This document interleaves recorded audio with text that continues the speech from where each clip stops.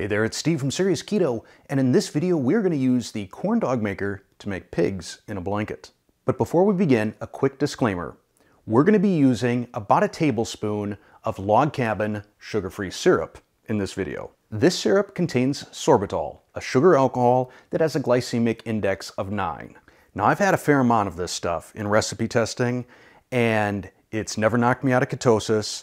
My blood glucose readings on a daily basis rarely go above the mid 80s, so it hasn't affected me.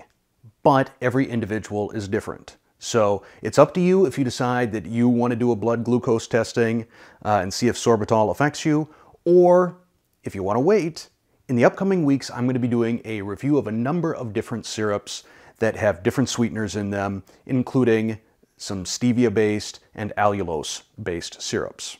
But with that out of the way, let's get to making ourselves some pigs in a blanket. As with all of my batter-based recipes, we're going to be using the food processor method.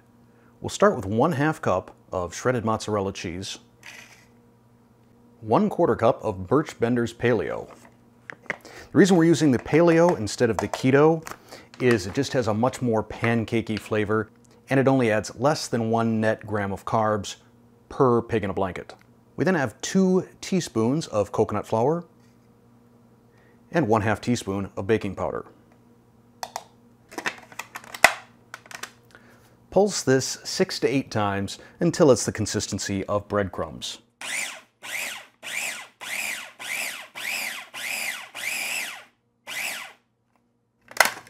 Then we'll add two whole eggs, large,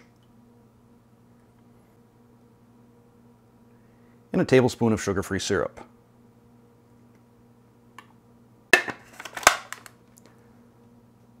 Process until you have a smooth batter.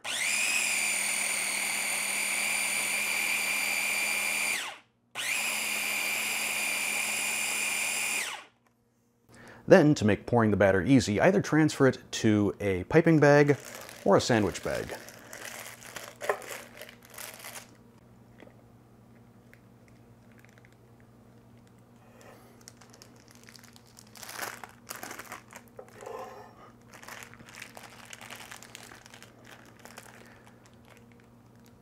Seal the bag, squeezing out as much air as you can.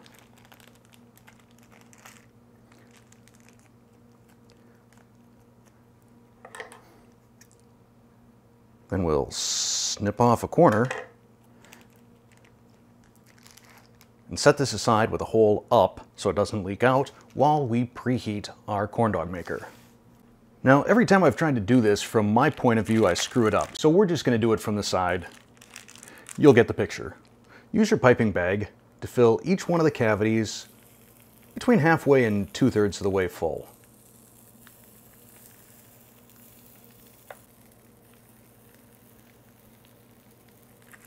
Then we're going to take some pre-cooked sausages. These are the Jones brand, so it's like one carb every five sausages. And push them down into the batter so it starts to come up around the sides.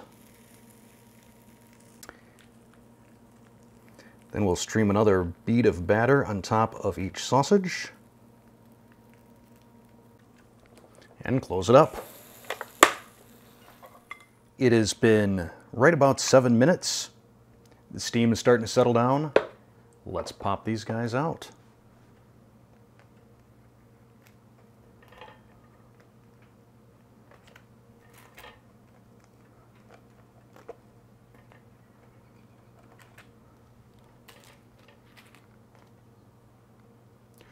And we'll let these cool for about two to three minutes. And the taste test. This is practically a self-contained McGriddle.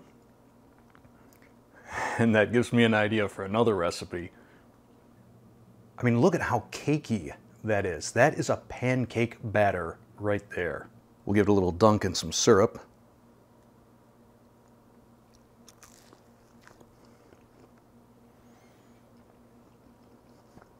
This is absolutely a pancakes and sausage experience that will make you forget you're on keto.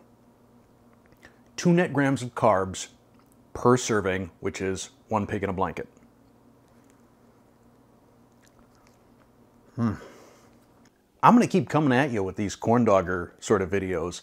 So if you enjoyed this video, hit that like button, hit that subscribe button, and if you want to be notified whenever I release a new video, click the bell next to it.